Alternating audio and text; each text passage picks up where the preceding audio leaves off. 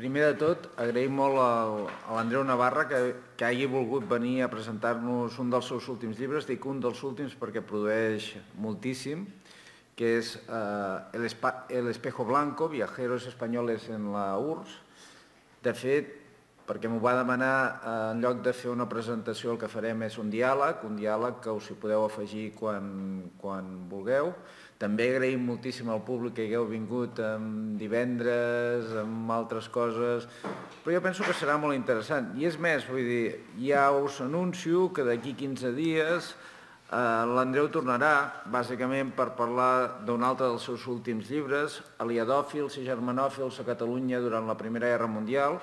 Ja havia publicat eh, amb editorial Càtedra 1914 Aliadòfilos, Germanòfilos en la cultura espanyola, però és que a més a més, vull dir, perquè del, del grup del que em formo part, el GRENS, un dels seus membres és el professor David Martínez Fiol, i David Martínez Fiol va ser un dels primers que va començar a parlar de germanòfils i aliadòfils, i naturalment es coneixen, però es coneixen virtualment, no es coneixen físicament.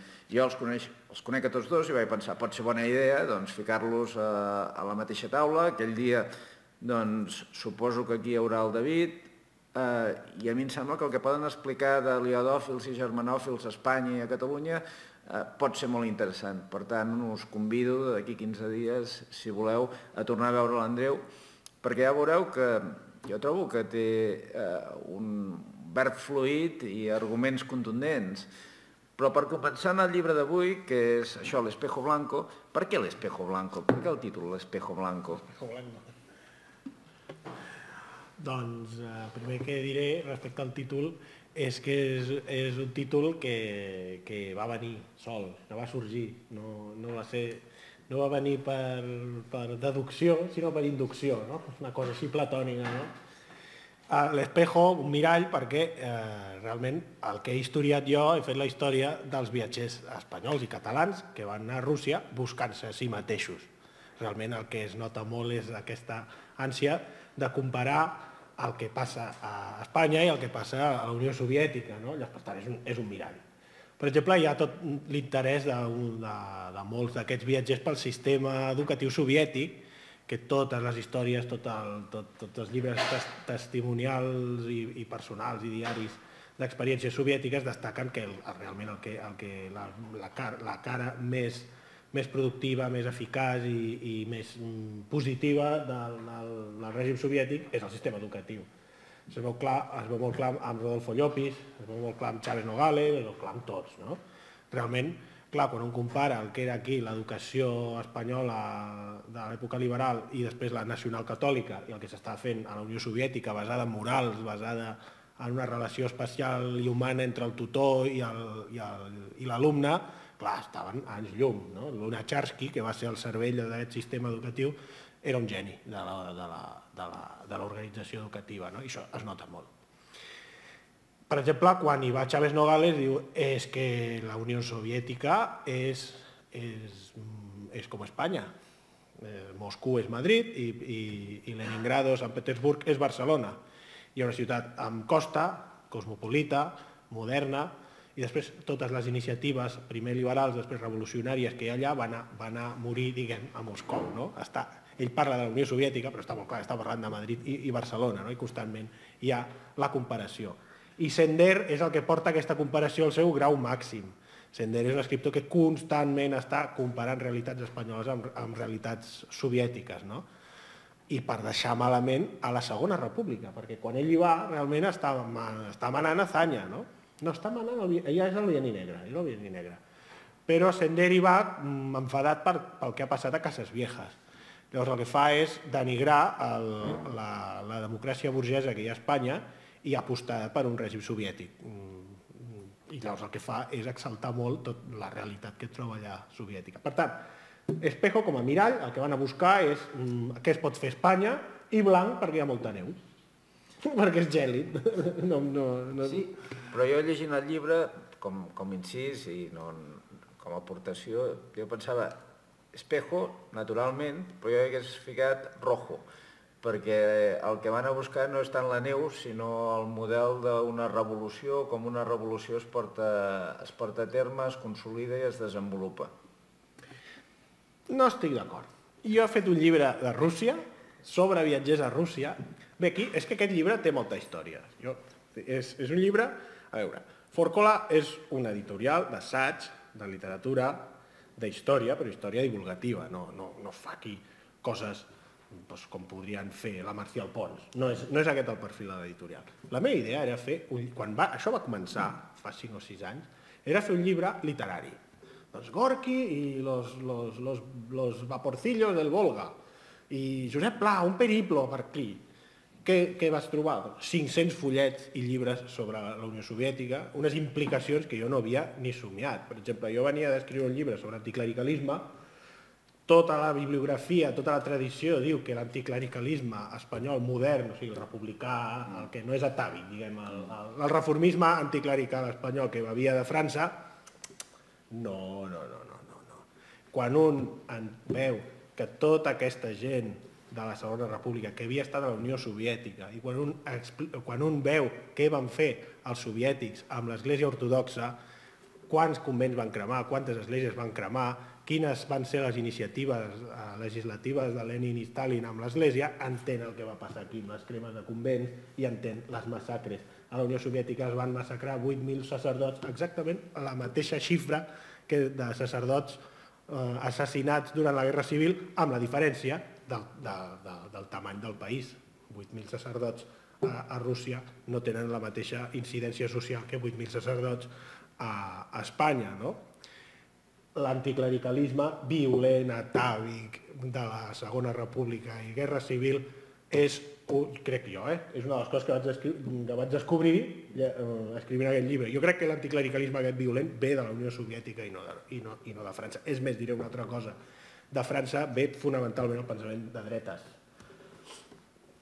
No, no, sí. No diria d'acció en francès, sí, no, Morràs i tot això. Companyia, sí. I, no, sí, no. Sí. De França venen moltes coses.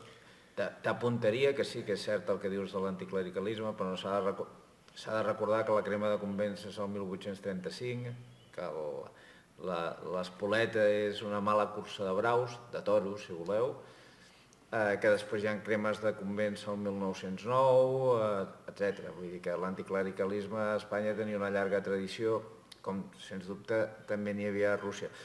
Però eh, eh, discrepo del que has dit, és a dir, però de mirall continua sent quan, mirall, però blanc, 1900... jo més que blanc el veig vermell, perquè el que s'interessa sí, és la idea revolucionària. És que n'he anat per...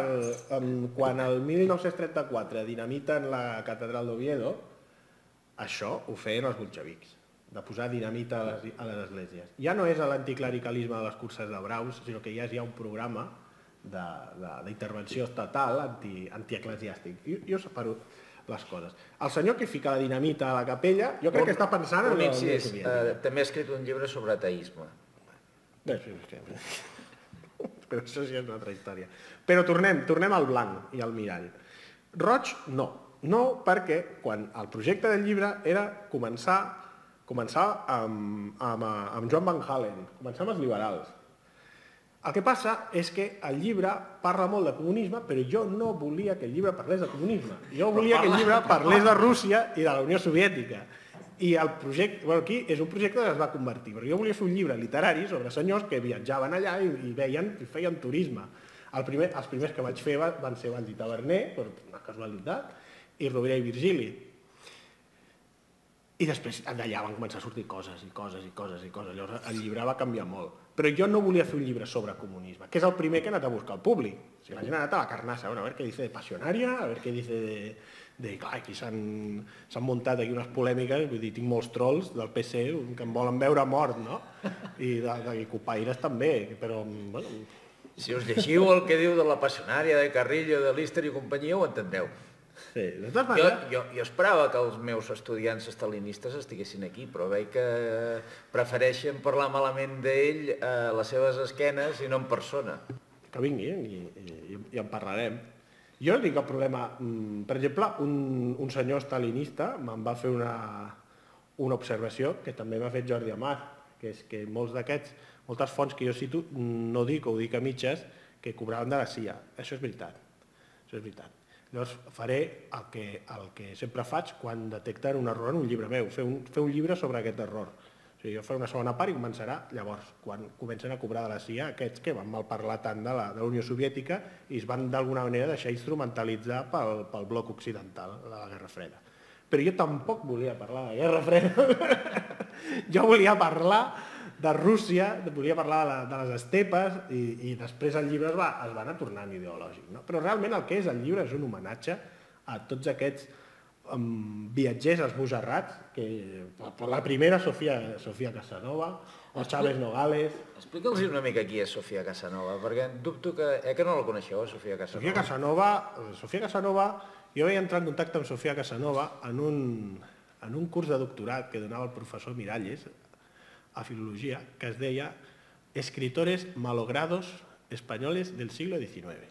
Escritores malogrados. I era una llista de romàntics que havien mort el, a, la, el primer bloc eren romàntics que havien mort als 30 anys i el segon bloc eren àngeles de l'hogar que la, la premsa espanyola va catalogar com àngeles de l'hogar i eren escriptores, algunes d'elles molt bones, impressionants, que d'aquí havien passat d'elles. No? Una era Sofia Casanovas, que és un món. Sofia Casanova era una, una escriptora gallega, era periodista de l'ABC i estava casada amb un comte polonès. Llavors va passar la Primera Guerra Mundial fent d'enfermera al, al front polonès, a vegades a la banda aliada russa i a vegades a l'altra banda.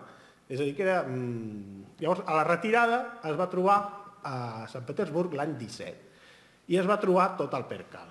Llavors, en un tiroteig en un carrer es va quedar mig cega i mig cega seguia fent les seves cròniques que enviava el diari ABC.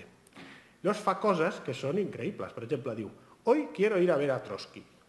I s'aixeca, va amb la serventa, va a l'Esmolny, allà hi ha un guàrdia i li diu, ¿usted quién es? Yo soy periodista y quiero ver a Trotsky. ¿Y de qué periódico es? De un periódico socialista. No, del ABC. Es queda tan, ampla.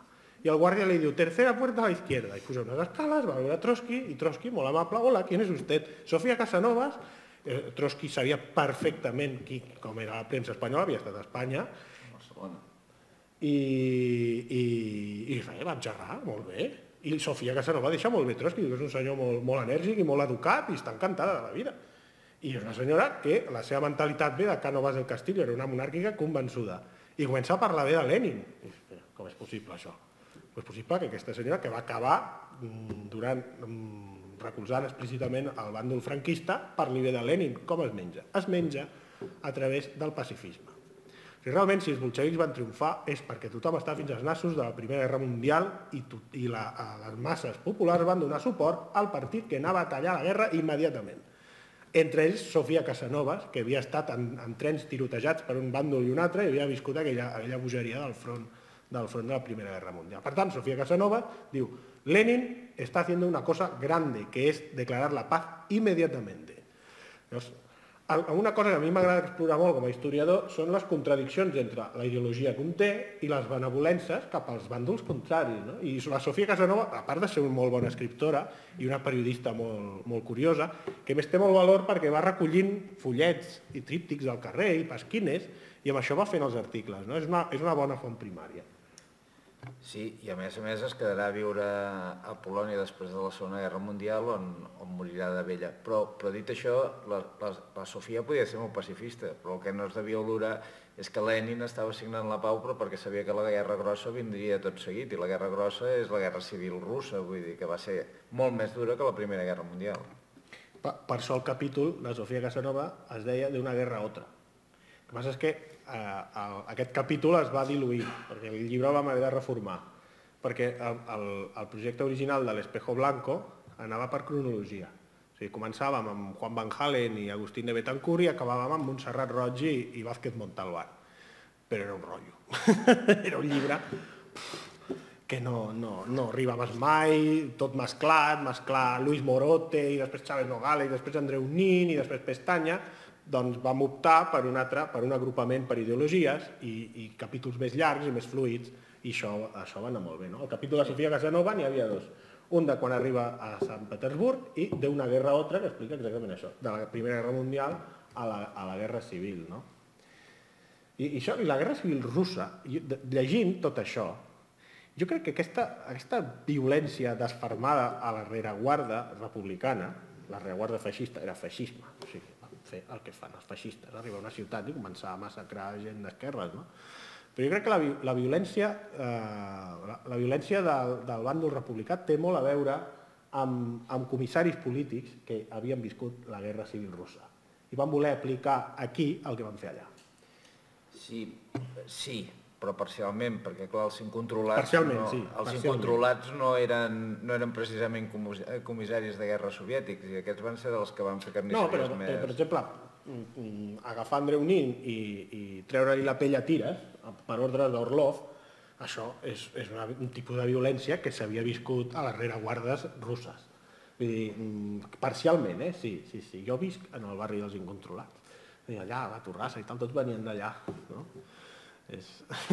Però clar, vull dir, és que els incontrolats eren els de la FAI, eren els falleros. Vull dir, els falleros precisament no eren, no eren estalinistes, tot i que els estalinistes no eren precisament pacifistes. Però dit això, i per tornar una mica a la cronologia, jo sé que t'interessa molt Andreu Nin, que és dels viatgers el que més es va quedar a la Unió Soviètica, deixant de banda en Casanovas, que va acabar sent polonesa. Però en Nin va arribar a tenir un altíssim càrrec eh, a Moscou, es va casar, va tenir filles... Mm -hmm. Vols parlar de Nin? De Nin? Home, sí, sí que vull parlar de Nin. El que passa és que això ho estic mirant ara, no? En, de, sobre Nin surt el mes que ve a l'aventura de la història un, un article titulat Andreu Nin en la URSS. I, i Andreu Nin, a veure, com ho explico això? A veure, Nin va arribar amb Maurín i, i l'Ari Irlandis, Clar, hi ha un efecte que tots els viatgers de la Unió Soviètica senten a les pròpies carns, que és la dona soviètica. Clar, si tu vens d'Espanya, vas a la URSS i, i veus doncs, dones doncs, rosses de metre 90, cultes, amb dos o tres idiomes, clar, hi ha el fenomen de, de clar, una maurina es queda dient, Dios mío, i s'hi casa amb una, evidentment, i nin també. Clar, és que quan veus fotos de l'època, i veus la gent com era la Segona República, doncs eren més aviat, doncs, no sé, ens, ens faltaven dents, la gent era baixeta, una mica com Miguel Hernández, no? Aquests eren, clar, vas a la Unió Soviètica, mare meva, llavors, clar, Andreu Nin, allà, no, és que és, és, ho diuen els diaris, clar, jo he fet un estudi sobre diaris de viatgers que van a la URSS, una, la notació, la, el primer que diuen és, mare meva, quines dones que hi ha aquí, que no tenen res a veure amb les que un pot veure Cádiz o, Ma, o Madrid o Barcelona, Andreu es va quedar allà perquè la seva companya era una ballarina del Bolshoi, poca cosa, que era secretària del Profinter, la, la, la internacional sindical ro, roja. Elles van conèixer i, i, i es van casar. És molt, era molt fàcil casar-se i divorciar-se a, a, la, a Unió Soviètica. Llavors Andreu Nin es va trobar que la seva línia de pensament era aplicar la política soviètica a Espanya. És a dir, la, la, la clau de tot és el soviet. Però ell sabia perfectament que els soviets ja tenien vigilància policial des de l'any 18. Això ho havia de saber. Però clar, això no feia que ell deixés de desitjar una revolució soviètica per a Espanya. Potser el que hagués de desitjar és que no es tornés bur burocràtica com la, com la que estaven imposant Stalin i Zinoviev. No? Llavors, eh, al final, mm, ell va començar a, a denunciar, cap al 27, va començar a denunciar problemes que ell veia de burocratització del sindicat Roig, i llavors ja el van apartar directament. Li van dir, mira, tu et quedes a l'Hotel Lux, et deixem només traduir, aquestes traduccions les rebia a París Joaquim Maurín, i allà hi ha la gran tasca intel·lectual, el, gruix de traduccions que va fer Andreu Nin, les va fer a l'Hotel Lux en estat de vigilància permanent, és a dir, caigut en desgràcia. Finalment, el 30 va poder tornar a Espanya, no va, parlar, no va parlar malament mai de la, Unió, de la Unió Soviètica, va dir que era un lloc molt decent, que s'estava construint el socialisme allà, però evidentment va començar a dir que amb Trotsky s'havia comès un delicte, criminal, un, un delicte polític i evidentment doncs, Stalin no li, va, no li va perdonar i el 37 el van torturar i el van assassinar aquí. No? Però, eh, però a mi el que m'interessa de Nin, hi ha molta obsessió amb l'assassinat de Nin, però I, a mi m'agrada no, el Nin intel·lectual. I no els feixistes, eh? No, no, els, els, els, L'ordre, que gairebé segur, la va, la va donar Orlov, que era un assessor soviètic que estava a la rereguarda republicana. O sigui, gent de, gent de PC. Que, perquè, perquè però això no està assumit. Eh? Tu dius això i, i per, mi, per exemple, jo, jo i altres historiadors estem intentant fer una jornada de memòria andreunia al Vendrell, perquè era vendrellenc, i no agafen el telèfon. On, i, no, i, i la, la regidora de Cultura és historiadora i no contesta. Vull dir, tot això no es pot dir. No, alegrement i lliurement no es pot dir, ara no em trauran la pell a tires, que ho intentin, però dubto que vagin a l'hospitalet a buscar-me, però tot això no està assumit, no? no està assumit. No, no, volia remarcar que, que quan desapareix Andreu Nin, per cert, un alt càrrec d'extrema de, de, esquerra i conseller de la Generalitat i el, i el que vulgueu, però quan desapareix, les joventuts del PUM eh, escrivien als, a les parets de Barcelona on és Andreu Nin i anaven al darrere de les joventuts del SUC i a sota escrivien a Burgos o a Berlín. I ni a Burgos ni a Berlín, vull dir... Estava, sí, estava, estava ter sota terra.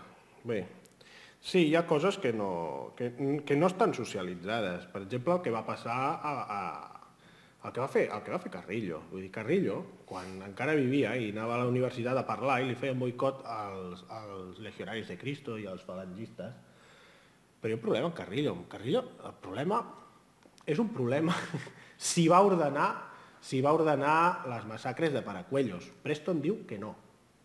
Preston diu no. Hi ha un noi jove a Mèxic que es diu David Jorge, amb el qual he entrat en contacte, perquè ell està refent la biografia de Carrillo, pro Carrillo. I diu que Preston és massa de dreta. Bueno, jo, jo és, una, és una de les investigacions que intentaré seguir. De fet, Preston en una entrevista va dir que Carrillo era l'Stalin espanyol. És que aquest és el problema. El problema per mi no és tant que enmig d'una guerra eh, massacrés dretans o feixistes, per mi sí és un problema, però no és el problema que més em preocupa. A mi el problema que em preocupa de Carrillo és la quantitat de maoistes que va manar a assassinar o, o, o empresonar. És a dir, si jo critico la passionària i, i Carrillo és pel que va fer la gent d'esquerra, perquè va fer els seus propis, pel que van fer a marxistes, pel que va fer els trotskistes. Això, això no està socialitzat, diguem. Pel que van fer els anarquistes. Van fer els anarquistes, clar. De fet... Tota aquesta repressió d'esquerra contra esquerra, no? D'esquerra pro-Moscou contra altres formes d'esquerra.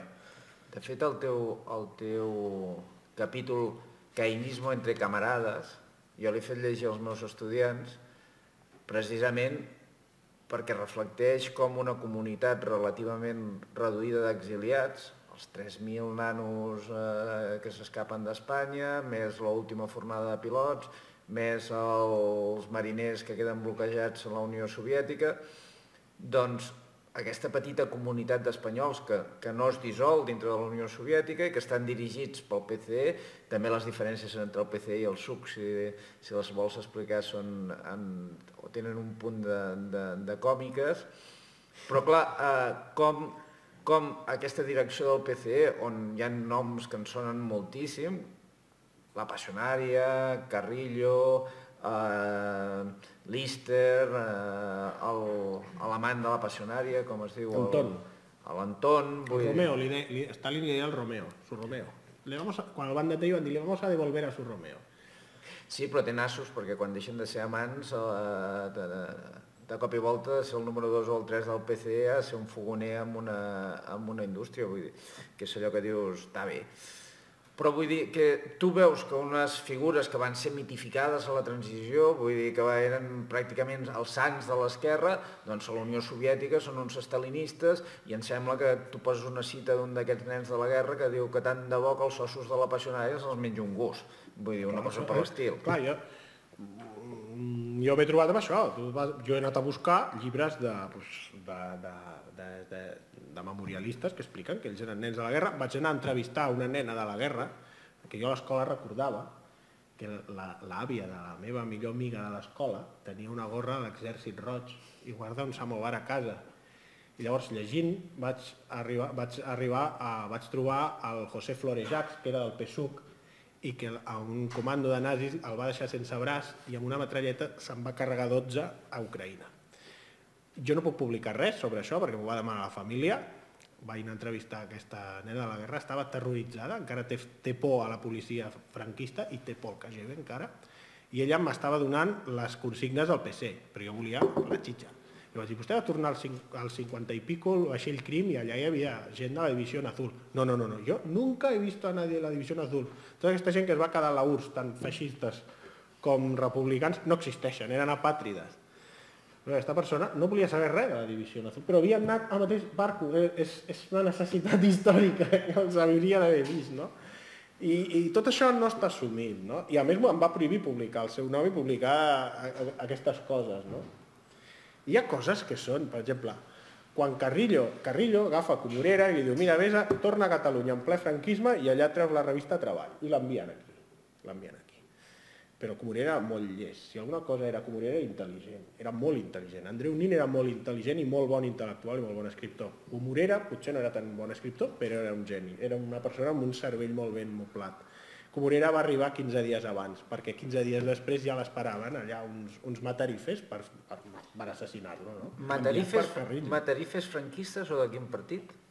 És que si Preston diu la veritat, Carrillo trucava a la policia franquista que X temps. Si Preston diu la veritat, eh? Uh, és que, és que això, això encara no està dilucidat. I, I si eren franquistes, com és que es van esperar un temps? Perquè estar un temps aquí repartint, que feia, feia el buzoneador, deixava a les bústies el, la revista Treball. Un temps aquí, no? No sé, Carrillo sabia perfectament que Grimau estava fitxat, perquè havia estat a la Guerra Civil. Per què va enviar Grimau i no, i no algú com Semprún, que, que no estava fitxat? Tot això, tot això no està socialitzat. Nosaltres realment encara no podem dir coses... A, a... Hi ha moltes incerteses amb Carrillo, no? Quines? Quines? doncs jo estic esperant el llibre aquest d'en de, David Jorge, no? Les incerteses són, real, realment vam anar, va trucar a la policia franquista perquè, perquè empresonessin maoistes, a los chinos? Quan, s'obria una cèl·lula de xinos, de maoistes, Preston diu que Carrillo trucava a la policia perquè els empaperessin. De, ah, hi ha el paper de les guerrilles. Clar. En un moment donat, Lister que va dir, va dir ei, les guerrilles que nosaltres mantenim a l'interior d'Espanya ho estan passant malament, no tenen pressupost, estan mal vivint, no, no són operatives, què fem? I, I aquelles guerrilles van començar a caure en mans de la policia i no les van treure. I al Monzón li van dir que envaís, que envaís amb unes barques a Espanya. Monzón va, es va podrir a la presó molts anys. Quan va sortir el van anar, li van dir que era un monzonista, un, un heretge, i li van muntar aquí una història inquisidora. I Monzón no va voler saber res mai més del PC. Tot això és fosc, és molt fosc. Incerteses? No ho sé, jo vull fer una segona part sobre això. Però sobretot esperant el, la, la... Primer veient l'arxiu, com s'han de fer les coses. Si jo vull anar a Madrid, allà a la calle San Bernardo, que abans que sàpiguen massa qui sóc, i demanar la carpeta de Dimitrov i demanar les carpetes de, de tot, de passionària i tal. Si es vol fer ben fet, algú hauria d'anar a veure l'arxiu de Bèria. L'arxiu del Ministeri de l'Interior, del Comissariat de l'Interior de Rússia. Jo no sé com ho faré, però segurament no podré fer-ho. Però la Luisa Iordache, la Luisa Iordache és una historiadora romana que fa uns anys va fer una tesi que ho va deixar tot d'alta baix, una tesi molt polèmica, on explicava tot l'itinerari dels republicans pel Gulag. Un, un, el llibre és esplèndid, està a RBA, és esplèndid. Qualsevol que vulgui saber l'ABC sobre això ha de, ha de mirar aquest llibre, el llibre de la Luisa Llordache. El llibre és un llibre odiat no? per tots els comunistes i diuen que la Llordache és anticomunista, com que romana és anticomunista, antisoviètica, no para decir mentiras. Però per mi ser anticomunista no, no és una raó per dir que un llibre d'història és dolent. La Llordache el que va fer és buidar arxius del Ministeri de Justícia, i després hi ha la Carinotova, Caritonova, perdó, que va buidar els arxius del Ministeri d'Instrucció Pública, d'Educació, i allà hi ha els, els expedients dels nens de la guerra i dels mestres que els acompanyaven. El que cal fer és mirar que, qui ordenava les accions repressives contra exiliats espanyols a l'URSS. I, i, I potser allà hi ha la firma de Passionària, potser allà hi ha la firma de Bèria o de Dimitrov, però tot això està per dir, per fer. Jo tinc sospites, però mm, no, no, no dic, no, jo el que dono són una sèrie de testimonis, però jo no sé dir realment què va passar. Per exemple, hi ha una reunió on es decideix què va passar el dia de, de Casado, el dia de, de, de l'aixec de Casado, de l'aixecament del, del, del, del coronel Casado. El cop d'estat del general Casado. El cop d'estat dins de, la, de les línies republicanes. Què va passar aquell dia? Algunes fonts diuen que la passionària estava jugant a cartes i va dir marxem i deixem els combatents aquí i, i desertem. bueno, hi ha com 10 versions, no està clar què va passar. No? El, el Balmonde, que és un historiador que de, del final de la Guerra Civil, diu unes coses, Lister diu unes, unes altres, moltes inventades, Tauenya diu unes altres coses, tot això s'ha d'ordenar. no s'ha d'ordenar. Perquè hi ha moltes veus, però no n'hi ha cap de definitiva i no hi ha un relat sobre això, no? Un relat que no sigui mític, no? I Carrillo menteix, mare, mare meva, mare meva. Les memòries de Carrillo són, són, és, una, és vergonyós, se li nota molt. És una cosa espantosa. El que se li nota molt va... Es diu los viejos camaradas i comença a ficar gent que, que se sap que ell va, va manar, va, va expulsar. Ah, eren mis camaradas, nos queríamos mucho. Home, home, una mica de... no sé. Beria i Yezov s'estimaven molt i Beria va acabar matant a Yezov. Sí, però fer un llibre, Los viejos camaradas, digna fotos i, i no explicar què va passar, no? ocultament de tot. No? De totes maneres, el de Paracuellos eh, em sembla demostrat que el que va estar implicat en Paracuellos va ser Serrano Poncela, que curiosament era poeta i era especialista en Antonio Machado i va acabar a Puerto Rico donant classes de literatura. Sembla ser que va ser Serrano Poncela el, el de Paracuellos i no Carrillo. Sí, però jo recordo una entrevista de Carrillo a la Contra de la Vanguardia on ell explicava que es va polititzar molt, jo, molt jove i era membre de les Joventuts Socialistes Unificades.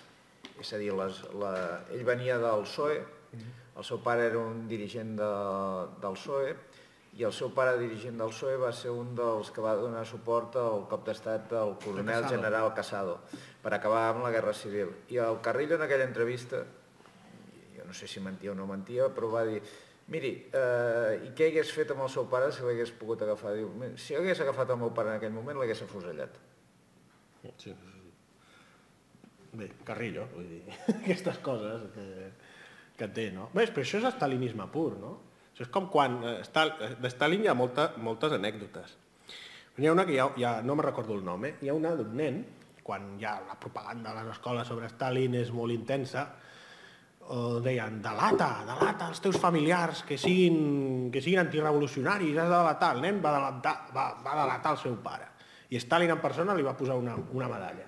I quan se n'anava va dir que cabron. De, de, de Stalin hi ha, moltes, hi ha moltes anècdotes. Per exemple, hi ha un, hi ha un pilot, hi ha un pilot espanyol que estava, estava, bé, estava doncs, en, un, en un aeròdrom no, militar i feia molta calor, em sembla que era Odessa, però ho estic citant de memòria. Aquest pilot espanyol anava en calçotets, doncs feia molta calor. Estava una, una mena de samarreta i uns pantalonets, no eren calçotets, eren uns pantalons de mecànic i estava allà arreglant avions. I arriben uns militars i ràpid, ràpid, vostè ha de portar Stalin... Eh, ai, no, vostè ha de portar una mercaderia, mm, no sabem on, nosaltres l'indiquem. I llavors el pilot va dir, m'he de posar l'uniforme. No, no, no, no, ara, ja. Vaig en calçotets. És igual, sortim ara. Molt bé, entren a l'avió, pugen la mercaderia i resulta que van a Yalta. El senyor a terra, i quan estan a terra surt Stalin. Hola. I el tio en calçotet. I diu, mm, m'he cagat, o sigui, ara aquí, què, què em passarà, no? I Stalin passa revista allà a la tropa i es troba un tio amb calçotet. I diu, vostè què fa així? Doncs miri, que m'han dit que amb molta urgència l'havia de portar vostè aquí a Alta i no m'he pogut canviar. Clar, imagina't, imagina't el canguelo d'aquest senyor que té davant Stalin. I Stalin va fer ja, ja, ja, ja, que li donin un, un uniforme i se'n va anar. No? Dir, són aquestes coses, anècdotes que he trobat i que l'he posat al llibre realment molt al·lucinat. No? Hi ha coses que són al·lucinants. Dir, els, els, ponts, els ponts que hi ha a Sant Petersburg resulta que els va fer un, de les, un que vivia a les Canàries. Impressionant. I nosaltres no sabem res d'això. Els llibres de la Montserrat Roig són increïbles, són molt bons, molt bons. I amb això he anat fent el llibre, no? amb tots aquests, tots aquests materials. No? Què et va cridar més l'atenció de tot això que hem parlat? Des del canari arquitecte de, del segle XVIII fins a la periodista Montserrat Roig? Moltes coses, però sobretot a mi m'ha quedat molta admiració per les persones d'esquerra capaces de veure les contradiccions del sistema que estàvem veient. O sigui, jo he quedat molt, molt, molt impressionat per la capacitat d'un Chávez Nogales, d'un Sender, d'un Fernando de los Ríos, d'un Zugazagoitia. Va escriure llibres molt bons i llibres que no són fàcils de trobar. Si algú té curiositat, aquests llibres estan tots al, al Fons Unió Soviètica de, de, del pavelló República de la Universitat de Barcelona. No es pot fer un llibre a Espanya sobre aquest tema si no vas al pavelló República. Els tenen tots. El de Zugazagoitia, el de, els d'Àlvarez del Bayo. Eh, Per exemple, a mi, per mi ha estat una, un gran, una, una, gran, una gran sorpresa Álvarez del Bayo. És un assagista de primer ordre, absolutament oblidat. Álvarez del Bayo era una persona vinculada al PSOE, que va, fer, va tenir molts càrrecs a, durant la Segona República, i va tenir un final molt estrany, al final es va radicalitzar. Eh? El grapo. El, no, no era el Grapo, em sembla que era el Frap, el Frap. Es va fer terrorista, era un avi, era un avi ja de 70 anys, i va liderar el Frap, una, una guerrilla terrorista marxista, quan ell no havia estat mai tan, tan radical, no? Vull dir, De fet, el FRAP tenia vinculacions amb el Grapo, no sé on ho vaig llegir, però em sembla que el, el, un dels líders del FRAP eh, havia tingut com a companya la, la que era la líder del, del Grapo, però eh, ja no ho recordo amb exactitud. O, per exemple, descobrir Rodolfo Llopis, era un maçó que molt interessat en pedagogia... Explica una mica qui és Rodolfo Llopis. Sí, Rodolfo Llopis era un senyor també d'UG- de, de, de UGT i PSOE, que va ser director, si no recordo malament, eh, perquè estic citant de memòria, va, va ser em sembla, director general de, de, del Ministeri del Ministeri d'Educació durant la Segona República. Era el cervell de l'educació durant la Segona República. Molt important, perquè si alguna cosa va fer la Segona República va ser innovar en matèria d'educació. On havia estat aquest senyor aprenent? A l'URSS. No falla. I allà es va entrevistar amb l'Unacharsky i va fer un llibre sobre la seva estada a l'URSS, un llibre apassionant, molt, ben, molt, molt bo, molt bo, amb moltes anècdotes. Per exemple, quan se'n va un cabaret a Moscou, un cabaret, bueno, doncs mira, vol veure, doncs veure, tothom, doncs, bueno, el que vas a veure un cabaret, no? Tothom sap que bueno, va un cabaret i surt un senyor amb una balalaica i es posa a cantar cançons folclòriques. Clar, es queda al·lucinant dient, això és un cabaret, clar, la prostitució està prohibida i, i és molt divertit, no? Rodolfo Llopis va acabar sent, si no recordo malament, president de la República Espanyola d'exili I secretari general. i secretari general de l'UGT, molts anys, molts anys, fins que era vellet. Tots aquests personatges estan oblidats. Els especialistes saben qui són, però jo crec que s'ha de socialitzar això. Jo crec que la gent ha de saber qui és Rodolfo Llopis, qui és Giral, qui són... Aquí és una vergonya, això ho dic, mira, si m'estan gravant, és una vergonya el desconeixement. Que es té a Espanya i a Catalunya de l'exili. És una vergonya. Si tu vols llegir literatura catalana de l'exili, te n'has d'anar a edicions de la transició, i això és una vergonya. Una vergonya. Estic parlant de xurigueres. Estic parlant de, de, de, de Lluís Ferran de Pol. Estic parlant de Bangarel, de que ningú se'n recorda ja de tots aquests. Estic parlant de tots els presidents de la República Espanyola a l'exili. No hi ha bibliografia d'això, és horrorós, no està socialitzat, no sabem qui són els nostres, eh, la nostra gent a l'exili, i ho saben especialistes, per exemple, a l'Autònoma hi hi, ha, hi ha un grup molt, molt, molt potent d'estudi a l'exili, però tot això no està socialitzat, no són com perillosos aquests, aquests homes de l'exili, no? Perquè si em preguntes què és el que m'ha interessat més? Álvarez del Bayo, Rodolfo Llopis, tota aquesta literatura, Zugazagoitia, el llibre de Zugazagoitia és molt bo també, tot, tot, tot, tots aquests socialistes mm, agònics, diguem-ho així, no? humanistes d'esquerres, que veuen contradiccions, que no volen trencar amb l'esquerra, que són molt coherents, una mica això. I deies que vols fer una continuació d'aquest llibre. Ens en fa cinc cèntims? Mm, sí, a mi el que m'agradaria... El que passa és que això ja ho veurem, eh? Un, un... a mi m'agradaria fer un llibre sobre el PC i el PSUC a Moscou. Això és ambiciós. Tu expliques una mica com es crea el PC i el SUC i com al final els accepta la tercera internacional. Els hi fas tres cèntims? Eh, sobre el PSUC I PC. i sobre el PC, el PC es va fer el 1921 com una escissió del PSOE, si no recordo malament. Llavors hi va haver una, una direcció que va purgar Stalin allà enmig, i, però jo m'he centrat més en Comorera, perquè Comorera va estar abans de la guerra dues vegades a Moscou. La primera vegada, el 36, per validar que el PSUC fos un partit marxista, li van acceptar, i per segona vegada, l'any 38, que ja tenia el recolzament d'Ernoguero, que era el comissari, era l'home de Stalin a Catalunya, amb el mateix paper que feia Vittorio Codovilla a Madrid. No? Llavors, amb la tutela d'Ernoguero van acceptar que el PSUC fos la representació de, de l'ortodoxia marxista a Catalunya Perquè el PC no volia. El PC no volia, i, i, i evidentment això, això va derivant al comorerismo i tota la purga que van fer de, de comoreristes i, i, i gent del PSUC durant la postguerra. No? Per exemple, hi ha un fons a l'Arxiu Nacional de Sant Cugat, estan totes les cartes que els militants del PSUC van firmar contra Comorera. Això està verge. Ho vaig trobar l'altre dia. No m'hi he assegut, no les he fotocopiat, però estan allà estan allà, el fons PSUC està a, l'Arxiu Nacional. Això s'ho ha mirat, bueno, s'ho han, han mirat els, eh, les, les biògrafes de, de Montserrat Roig, però no, tot, això, tot això està allà. I jo no he vist les revistes del PSUC de, de la postguerra, s'han de buidar. De PSUC hi ha molt sobre l'Assemblea de Catalunya, sobre el PSUC a Catalunya, però tot això és ja època López Raimundo. L'anterior, què? Què fem amb això? A veure, a veure. I el caminal, però i entre caminal i nosaltres, què? Ja no, ja no caminem més, no sé. Jo trobo certa resistència a voler treure tot això, no? Els anys foscos de, de, la, de la Guerra Freda, a veure què, a veure què passa a l'exili, no? Em sembla que hem portat una conversa, han sortit, jo diria que la major part dels temes, i jo obriria una mica els que esteu aquí, si voleu, vull dir, no té per què ser un, em sembla que han sortit prou temes perquè pregunteu el que us sembli pertinent si voleu. Voleu participar?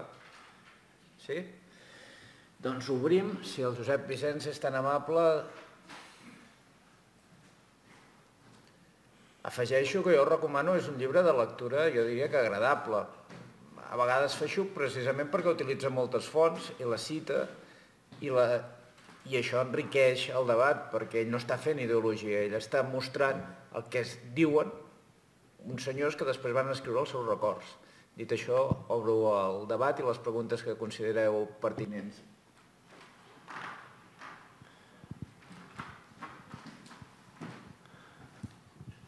Bueno, et... S'escolta? Sí. Et volia preguntar eh, quin eix cronològic segueixes? És a dir, comences amb la creació de la URSS fins a... No, no comen no. abans. Ah, comences No, abans. el llibre, el, mm, això, això ho, has, ho he començat a explicar, però se, se m'ha ido la mente los cerros de Úbeda. El llibre, eh, jo el vaig concebre com un llibre que comencés a l'època liberal i acabés a la- a l'any 90. Després, de l'any 90 cap aquí, hi ha muntanyes de llibres sobre Rússia, però jo no, jo no, no els he examinat. A mi m'interessava fins l'any 90. Llavors, com, eh, com hi havia, com que cada vegada hi ha més gent que va a l'URSS, va quedar descompensat. Liberals que van a l'URSS n'hi ha tres o quatre. De regeneracionistes també són tres o quatre, són Morote, Julián Juderías, després hi ha Sofia Casanova, després hi ha el Chávez Nogales, després es dispara. Es dispara. I sobretot es dispara a partir que aquí es comença a, a vislumbrar a, la transició, hi va una transició a la democràcia després de Primo de Rivera entre el 28 i la Segona República, allà van milers de persones, a, molts, molts, molts, són molts els viatgers que van a l'URSS, i comencen a dissenyar transició a què? A una democràcia burgesa o directament a un febrer de 17 o anem a un octubre de 17. Aquest, aquest és el debat que hi ha l'any 30. Jo crec que aquest és l'eix del llibre. La transició entre Primo de Rivera, Berenguer i govern Aznar i la Segona República. Aquest és el meollo, jo crec, del llibre. Llavors, el que em va demanar l'editor és que tots els liberals quedessin una mica la introducció, com a introducció. És a dir, jo volia fer un llibre sobre Rússia i em va sortir un llibre sobre l'experiència soviètica. Per això, però jo, vull, jo, jo volia conservar aquest, aquesta prehistòria del llibre i el llibre diu l'espejo blanco i no rojo. Perquè insisteixo, jo volia fer un llibre sobre la realitat russa, soviètica, però no sobre comunisme. Però ja, ja que m'ho posa ou, el llibre que li ha sortit és l'Espejo Rojo. Bueno, potser en una, en una segona edició ens ho- ens ho repensem. Aquest, I aquest és l'eix, no? I després eh, has dit que fa- organitzes el llibre en blocs ideològics, no? Uh -huh. Pel que he entès. Quina és l'evolució? Imagino que les no massa, però les esquerres, a No, mesura que va passant el Amb temps... això discrepo amb tu. Jo, a mi, jo el que dit que, és que com a historiador, a mi el que m'apassiona és desfer el, el bipartidisme mental que tenim nosaltres i això, això, això ho vaig pensar molt amb el llibre de la Guerra Mundial. Quan vaig veure, per exemple, molts socialistes pro-Alemanya Llavors, aquí calia trencar la, la dicotomia entre esquerra eh, aliadòfila i dreta germanòfila. No, no. Però aquest debat d'aquí 15 dies. Va, va. sí, és que tinc tendència a, a, a les branques, no? Parlem del tronc. No, Josep Pla era de, era de dretes. Arriba, arriba a Moscou i diu, ai, que bé, no hi ha vagues. Que bé. Hi ha, hi ha, una, hi ha un factor, això és un altre llibre escrit, el, el regeneracionisme, hi ha un factor molt poderós a l'Espanya liberal, fins, fins que arriba la Segona República, i durant la Segona República també hi ha molt, hi ha molt regeneracionisme, hi ha el vector regeneracionista. El vector regeneracionista és modernitzem-nos sense canviar el sistema. Llavors, hi ha regeneracionistes d'esquerra i sobretot hi ha molts regeneracionistes de dreta, com per exemple Josep Pla.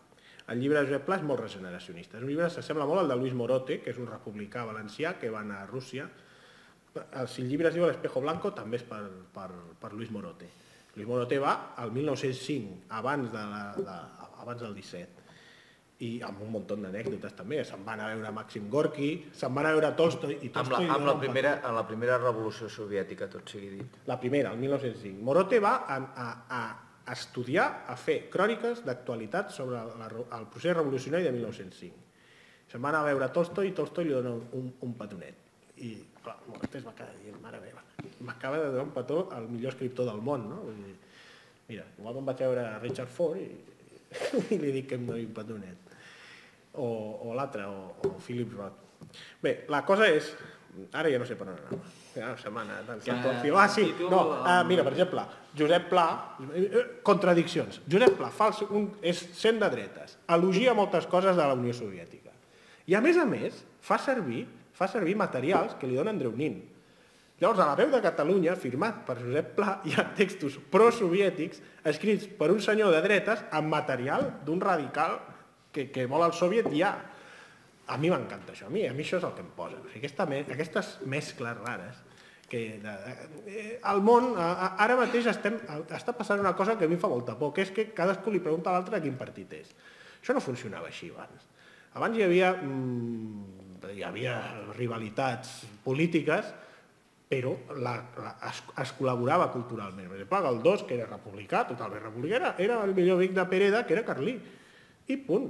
O Rubià i Virgili, que era, tothom sap qui és, és pràcticament el primer independentista català, era molt amic de Ramiro de Maeztu, que era d'Acció Espanyola, o sigui, un feixista. I eren amics. I, I què vol dir això? Vol dir que s'ha d'estudiar el que hi ha, i el que hi ha no és el que hi ha ara. Ara no hi ha prisa i premsa ibèrica i picados. No, el que hi ha allà és una altra cosa. Cultures republicanes, cultures unionistes republicanes, cultures federals republicanes, eh, dreta accidental que accepta la república però vol una monarquia, després hi ha feixisme, després hi ha antics conservadors mm, eh, convertits a la república, Sánchez Guerra, hi ha moltes coses. El que no podem fer és agafar el que hi ha ara i passar-ho al, al passat. Per això no, no, no ens dona una visió del, del, del que passava. Per exemple, un altre, Bangi Taverner, de dretes, era de l'Opus Dei, i escriu coses, veu, és objectiu, hi ha, hi ha moltes persones de dretes que, que anaven a, a, a la Unió Soviètica i intenten donar una visió objectiva allunyada de la visió demonitzada que es donava a Espanya.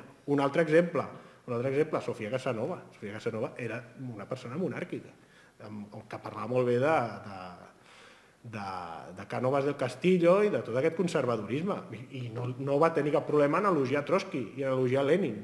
Jo, jo el, que, el que he volgut mm, perseguir eren aquesta mena de contradiccions. No? Aquests intel·lectuals de la primera meitat del segle XX no són d'una peça. No són d'una peça. Què és una mono? És de dretes? És d'esquerres? Pues, no, ten, no sé. No sé. El que, el que sí sé és que era centralista, això sí. Sí, sí, sí. Val, però sí, però hi ha centralistes d'esquerra, centralistes de dreta, centralistes centralistes, no? És divers, és un món divers. I ara, ara estem entrant en una fase de, de, de, de dos colors a Madrid i dos colors a, a, a Barcelona i, i clar, això, això és una mica... Una, no, sé, no sé fins quin punt això és la realitat, no? És dir, les, les, les èpoques de polarització ens impedeixen veure que hi ha moltes coses que no encaixen. Jo crec que això és el que ha de fer l'historiador, desencaixar-ho tot. perquè la vida no encaixa. no? Vull dir, no sé, tu, tu que en saps molt més que jo, ho hauràs vist, no? Que no encaixa res. Tu llegeixes una cosa i mires l'arxiu i no, no té res a veure. No? Que Espartero era d'esquerra, era progressista. Sé. Sí, per això bombardejava Barcelona. Sí, vull dir que, clar, no encaixa res, no? Tu t'expliquen coses i, i no encaixa, no encaixa, no encaixa, no? No, però precisament és, és, és això.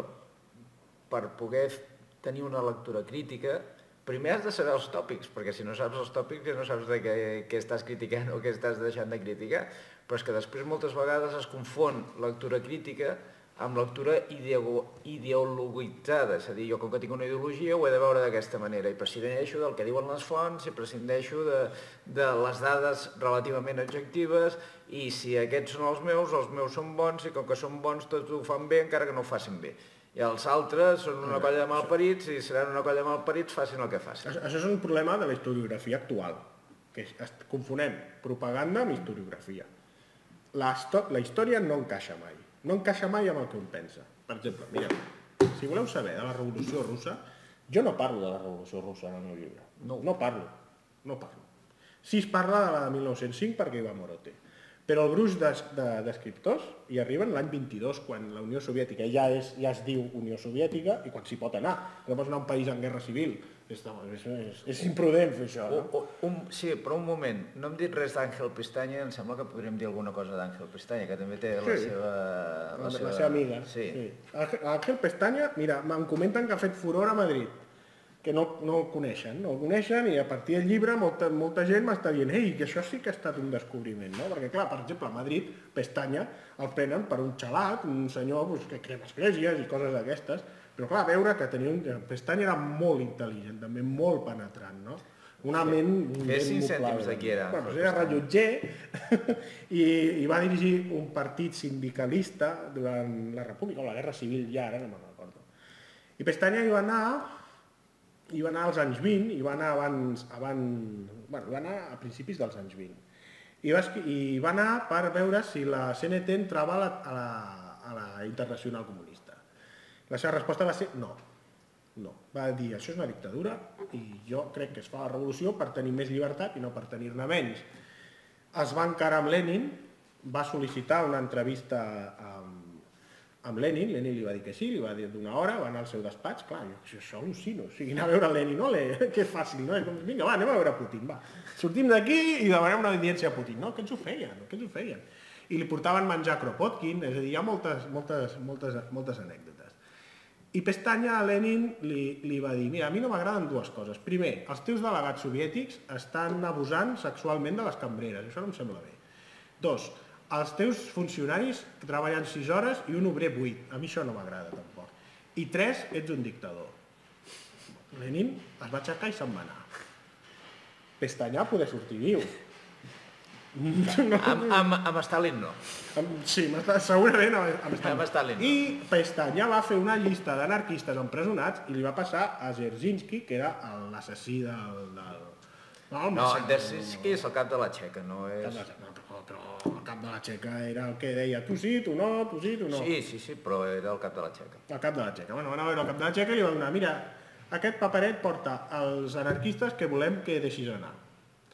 Zerzinski diu, bueno, devia pensar, bueno, aquests els fusello o, o què faig amb aquests tios, no? I va anar Lenin, li va passar el paperet i Lenin va, va alliberar gent d'aquella llista. Curiosament, va sortir al carrer alguns. És a dir, un tio, un pal de paprat, si és pestanya, ben a tot servei, no? I fer això és molt, és molt, no sé, i va tornar aquí, va fer uns llibres, va fer bàsicament dos llibres lo que jo vi en Rússia, o lo que, lo que jo pienso de Rússia, i després, molts anys després, va publicar l'informe que havia fet intern de la CNT recomanant no entrar en la internacional. Aquest, aquests documents són de primer ordre. Aquell home tenia una capacitat d'observació impressionant. Pestanya és un dels, dels pesos pesants de, de viatgers a l'URSS. N'hi ha, ha, bàsicament hi ha Pestanya, Chávez, Sender, Zugazagoitia, Llopis, Álvarez del Bayo, jo crec que aquests són els, els que van deixar uns, uns textos més, més coherents, no? I de Pestanya són molt, molt, molt aguts, molt aguts. I Andreu Nin, clar. Andreu Nin. És que, clar, dels mm, que van a la Unió Soviètica, hi ha els que queden enamorats, com Nin, per les senyores, pel sistema, pel que sigui, s'hi queden. L'Andreu Nin i aprenen rus i es fan soviètics, perquè Nin hi va com a representant de la CNT també, vull dir, no sí. és allò, i arriba allà i li agrada tant que s'hi queda. I en Pestanya arriba allà i primer per arribar li costa Déu i ajuda, perquè en aquell moment és un dels màxims dirigents de la CNT, quan es creï la FAI, però és que la FAI es crearà als anys 20 precisament contra Pestanya i companyia perquè són massa amics d'en de, companys i de polítics reformistes i el reformisme allunya la revolució i per tant la FAI l'objectiu que tenia era mantenir pura la CNT de les males influències de Pestanya i companyia. Per això Pestanya, quan guanyen els falleros la pugna, la pugna pel control de la direcció de la CNT, crearà el partit sindicalista, seran els trentistes, però ell era bàsicament un, un anarquista, vull dir, un, un àcrata, un llibertari. I clar, i arribar allà s'ho suma, i a part de tenir un, un valor personal més que notable, perquè sabien com se les gastaven, però ell era un revolucionari, un revolucionari de veritat, doncs, carai, a Espanya s'hi va quedar viu i no i el noi del sucre el van assassinar i tants d'altres el van assassinar, és perquè va tenir sort. De fet, Vull dir, el deixen mig mort, està no sé quant temps a l'Hospital de Manresa i l'estan esperant els assassins de la patronal al carrer i per sort, només per sort, continua viu, i ell ho sabia, vull dir, eh, quan eres revolucionari havies de jugar-te-la i no només amb els assassins de la patronal, si no t'agradaven el que feien els suposadament eh, revolucionaris com tu, doncs també. També. Sí us agradi la pestanya. Jo el que anava a dir és que... La... I anaves a parlar d'aquest llibre. Sí, vaig a parlar d'aquest llibre. El llibre ha arribat avui a les llibreries. És de Julián Casanovas, la, la, la venganza de los siervos.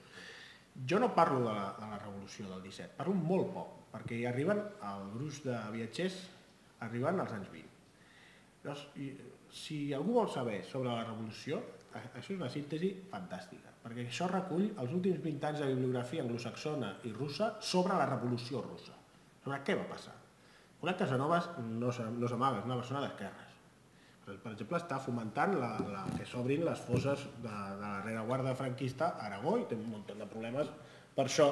De fet, ara està fora d'Espanya, està, està investigant a Budapest. Jo no el conec massa, dos o tres mails, però, però mm, de dretes no en té ni un gram. Això sí que podem posar la mà al foc. Bé, hi ha moltes contradiccions a la Revolució Russa. Entre l'any 18 i l'any 22, 280.000 afusellats, no està malament, eh? No està malament. Per motius polítics. I això és història, no és un senyor fent un sermó. És una cosa comprovada, comprovada. I, i qui vol, qui, no, només ho dic perquè, per si algú vol documentar realment sobre què va passar a la Revolució Russa. Per exemple, era una revolució popular o no? Què diu Casanovas d'això? Resulta que al febrer hi va haver molta intervenció de masses envaint institucions, a l'octubre no tant, però el partit bolxevic va tenir molt de recolzament popular perquè era pacifista, perquè volia la pau a ultrança. Això són conclusions que acabo de, de, de, no? de polèmiques que encara, encara no estan clar, no? encara no està clar. I realment Lenin va ser un, un gran geni i Stalin ho va, ho va pervertir tot? No, no. El Lenin ja va dissenyar una dictadura molt repressiva i Stalin la va heredar. Stalin, la... Stalin sempre deia que Lenin era el seu mestre. El que passa que el deixeble va superar amplíssimament el mestre. Sí, i ja hi havia camps de concentració en temps de Lenin, i clar, ja es va muntar molt ràpidament una guerra atroç d'usos molt, molt, molt inhumans i llarga, una guerra civil llarga a, a Rússia i tot això diguem que va, va, va tenir conseqüències. No? Quan un règim neix d'una guerra civil, mmm, malament, no va mai bé, no funciona, no funciona. No? Ja parles del Franco. No, no i, de, i, i del 19 espanyol. No, no sé. Bé, bé, parlo massa, no? pregunteu-me coses. No? Doneu-li al Lluís. Macià va estar a Moscou, no? També. Sí, sí, Macià, Macià va estar a Moscou a buscant finançament per estar català, no li van fer massa cas, li van, el van rebre amb honors d'estat, cosa que a ell li va fer il·lusió, li va fer gràcia, no? El llibre sobre això és de, de l'Enric Ocelai de Cal i del Joan Escúlies. Allà està tot. Allà està. Amb una novetat. Joan Escúlies i Enric Ocelai han aconseguit arxius de Rússia. Aquesta és la madre del Cordero. De fet, quan ja, ja li, mira, li puc posar un mail al Joan, com ho heu fet? Com, com ho Oh, han fet? l'Enric. Bueno, eh, es tracta, es tracta de que algú tradueixi documentació soviètica i l'enviï cap aquí. M'és enviat, si vols saber això, envia-li a l'Enric al correu electrònic. Sí. Ah, vale. I, I després mm, parla també del Josep Carné Rubi... Sí, el secretari. El secretari, el secretari, que, que bueno, no és un gran escriptor, però va deixar fer en un diari de tot això, no? Llavors, eh, a, a la part de Macià és absolutament subsidiària aquesta investigació. Jo, jo no he enviat ningú a Moscou per veure el de, de Macià, i com que el que havien fet les Cúlies i, i, i l'Ocelai és, és molt bon, un llibre esplèndid, És, aquest. és un llibre impressionant. Sí, dir, jo no he aconseguit que, el- que el presentin aquí, són tots dos del Grens, però és un llibre impressionant. També és molt recent i, com diu ell, hi ha documentació soviètica tra traduïda.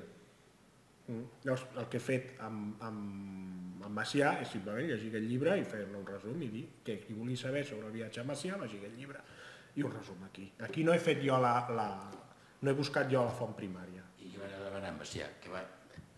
Va anar a Macià i Carner Revolta. Cèntims. Sí, cèntims per estat català per dur a terme aquí una, una revolució separatista. Quan hi van arribar també hi havia del crim, que volia fer el mateix, però eh, volia crear una república soviètica, social, al RIF. Vull dir que era una cosa habitual, no? Tots els revolucionaris que buscaven diners doncs anaven a Moscou a buscar diners. Per exemple, mira, tinc ja l'anècdota d'un dirigent del Polisario, això ja és als, als anys 70 o als 60 i pico, que van a, van a veure Brezhnev i va dir, mira, escolta, que, això, bueno, eh, que ens donis calés. I Brezhnev li va preguntar, aquest del Polisario, vostè és comunista? I li va contestar, no, sóc musulmà. I llavors li va assenyalar uns, uns sacs, uns sacs de, de farina i de, i de llegums i va dir, aquest, aquest és el meu finançament. I ja està, i se'ls va endolçar. Vull dir, tothom. Era, quan un vol fer una revolució, doncs se'n va veure, se'n va a Moscou. I llavors intenta, intenta camuflar lo seu perquè sembli mm, bolxevic, no? Després hi ha tot, totes les lluites dels països no alineats, no? que anaven, anaven a, a, a demanar recolza, bueno, acaben alineats amb, amb, amb, perdó, els sí alineats, els, els, els que volien lluites de, de, de descolonització anaven a veure doncs, els dirigents soviètics, no? en, en plena guerra freda. Tot això ja, tot això ja s'olorava abans. Però el Macià no aconsegueix res, eh? Vull dir, hi va, el tracten molt bé, s'està a l'Hotel Lux, el Nin els fa de, de guia a Moscou, eh, però no... I Carne Ribalta es deixa enganyar com, com un xinès, com diríem popularment, perquè, clar, no veuen la realitat. Ells porten sempre un guia que els ensenya, els ensenya el, el que volen que veguin, i Carne Ribalta queda allò, oh, quin país tan bonic i que barat és tot i que bé que es menja i, i Ma- Macià no és tan així i hi ha d'altres que diuen que són conscients que ells no estan vivint amb els soviètics, sinó que estan vivint amb una, amb una bombolla eh, molt controlada. L'estalinisme es, es, es, té una característica que és tractar molt bé l'estranger, tant si és de dretes com si no. Amb tours turístics, tot bonic, tot perfecte, tot amb uns caramelets a sobre de... de és una, una constant, els caramelets a sobre de la taula amb un, amb un bol, no? una cosa molt soviètica. Llavors el viatger no veu res, per exemple. Mentre deté a la gent per llegir premsa estrangera, a Rodolfo Llopis li, li, li donen el sol de, de Madrid el mateix any. Coses que, que són. I, I si vas a Cuba ara fan el mateix. Jo, jo fer el viatge de noces a. Cuba, no, posen un autocar i llavors hi ha, uns, hi ha uns carrers que estan molt ben pintats i et porten per aquells carrers. I Sí, quan te'n vas al tant- mercat et pregunten d'on va. A ver, cubanos. Sí, però jo també he estat a Tire, Cuba. et deixen, et deixen. Però Jo també he tour estat que a et fan Cuba és i agafat, i m'he agafat un taxi i, i no m'ha passat res, vull dir... Bueno, I, he, I he vist... I quan jo vaig anar, hi havia- hi havia En un- canvi, a l'Urs de Stalin jo diria que això... A Valls i Taverner li feien. Valls i Taverner diu, ah, és tot meravellós, no sé què. Hi ha un guàrdia cada 15 metres. A 15 metres hi ha un guàrdia. Ho escriu Valls i Taverner. Està observant a veure, a veure què. Però per això et dic que anaven jo- vigilats, però anaven... Jo- Tenien un hotel especial. Jo a Cuba he sortit a, a, a donar el vol amb, de llonces i no hi havia un guàrdia aquí a cada 15 metres. Doncs quan jo vaig anar hi havia... Mare meva, mira, vam agafar un catamaran per anar a fer snorkeling i hi havia, hi havia un tenderete de militars perquè ningú agafés el, el catamaran i es tirés a, a Miami que estava a 50 quilòmetres. Hi havia soldats. Ja, ja. jo vaig veure molta policia. Ah, no, no, molta policia, hi ha Tot molta no són policia. gandetes, eh? No, però és que això és igual. Però són coses que un veu, no? Jo estic parlant del meu viatge com tu estàs parlant del teu, vull dir, què té que veure això amb dretes o esquerres? No, vull dir que, que, que jo no, no tinc un interès, que jo no tinc interès en, en desprestigiar res, només Ah, no, no, sí. assenyalo, assenyalo Sí, els meus coses, coses els meus que estudiants passen, no? eh, alguns estudiants meus es cabreixen moltíssim quan jo dic que el Fidel Castro és un dictador, bueno, que algú em descrigui què, què és. Que algú em descrigui què és. I quan, quan els viatgers que van en època staliniana els hi fan un tour especial. El que passa és que hi ha dictadors i dictadors, i Stalin és... Stalin és contundent. Bé, potser, potser Hitler i Stalin van, han estat els pitjors. Home, afegeix-hi Mao i algun altre. Sí. Lo, lo... Ara sortirà un llibre sobre Mao, amb unes borrades que escriurà 45 milions de morts i Sí. coses així. És, és tremendo. La, la teva opinió sobre Antagüenya? La meva opinió sobre Antagüenya. Ostres, anem forts aquí. Jo crec que Tagüenya, el que passa és que això ho he vist després d'acabar el llibre. La Tagüenya jo crec que és l'únic excomunista renegat que és honrat i que no publica per no fer mal als seus ideals. Tagüenya, eh, Tagüenya Tuenya va ser molt discret. No va fer com Enrique Castro, no va fer com Pelayo d'Hongria, no es va deixar instrumentalitzar pel franquisme, però volia sortir d'allà. Volia sortir. Jo crec que era, lo- de, tot, de, de tots aquests que van escriure contra la Unió Soviètica, crec que és el més honrat, Tauenya. I per, per què va trencar amb ells? Perquè ells el van agafar com a instructor, va ocupar càrrecs importants a l'ensenyament no? de militar de, de, quan va anar a Moscou. Mm -hmm. I llavors va fer un trencament amb Home, és que allò era una dictadura. És que, clar, dir, home, mira, per exemple, no sé, po- potser no responc a la teva pregunta, però quan, quan Semprún agafa el diari a un país de l'est i veu que han portat a la forca, els han ahorcat, a companys seus de Buchenwald, acusats, acusats de ser nazis, es queda, es queda de pedra. Diu, què passa aquí? Què està passant aquí? Tagüenya va veure com gent de les brigades internacionals eren afusellats directament, amb una farsa de, de judici, clau. Llavors aquest, aquest home vivia un dilema brutal. Com no trair els meus ideals i denunciar una dictadura, una perversió de tot el que jo crec. Molts d'aquests van, van, van fer escrits i es van publicar a l'Espanya franquista. Tagüenya no, Tagüenya va ser discret, va enviar cartes als exiliats, va intentar marxar sense, sense, sense embrutar, sense embrutar. I, va, i després va, voler, va, va sol·licitar càrrecs de químic, de científic. Se'n va anar a Praga i se'n va aconseguir anar a Mèxic. Jo crec que és el més honrat de tots. De fet, és ap- apassionant, Tagüenya. el militar va ser bo, no? A l'hora de... Home, Tagüenya, Tagüenya, eh, Tagüenya era, era un d'aquests, com, com, com ho diria, un geni, jo crec que era un geni. Jo fa poc vaig estar a Miravet. Matemàtiques. Eh, Bueno, eh, bueno, com a científic no té massa prestigi, no? però per exemple un senyor que a Miravet diu "Oia, com podem passar aquí uns tancs? Què hi ha aquí? Botes de vi. Farem ponts amb botes de vi i passar-hi tancs. Això és, és, és, és, passada, això. Dir, aquest home molt, molt... No sé, Tau- Tauenya, a veure, el seu, em, té una, és un, era una persona molt intel·ligent. Però sobretot era una persona que no, no volia, no, que vivia una contradicció interna durant molts anys. Però no és el campesino que, que també té un alt càrrec en l'exèrcit roig i decideix marxar i fot una fugida així eh, espectacular? Jo el llibre El Campesino, el, el Campesino, el llibre, el llibre del Campesino el, li va fer fer Maurín. Jo no l'he llegit. El tinc de Renacimiento. El primer de la muntanya de llibres que llegiré per fer la segona part. No, no, perquè ja, ja us dic, vull dir, perquè és molt diferent que el Tagüenya, però també hi ha un element, element així. A més té una fuga super però el, el. Campesino després, després, uh, sí escriu contra Stalin Sí. i contra l'URSS, és a dir, sí fa, mm, sí es mulla en la, en la Guerra Freda contra l'URSS. Tagüenya no. Tagüenya no, no comença a, a despotricar. Sí, però també ho fan intel·lectuals com George Orwell i no per això deixava de ser d'esquerres, eh, George Orwell. Sí, però quan, quan l'Orwell no hi havia una, la, la, la, la Guerra Freda, diguem, no? Home, sí, eh, 1984 és 1948, just quan està començant la, la Guerra Freda. Però, El- ja, però el que vull dir és que l'ori- l'origen de, de la decepció d'Orwell és durant la guerra, no? Durant la Guerra Civil, eh? és a dir, el que veu, jo diria que la decepció és la Guerra Civil quan veu que...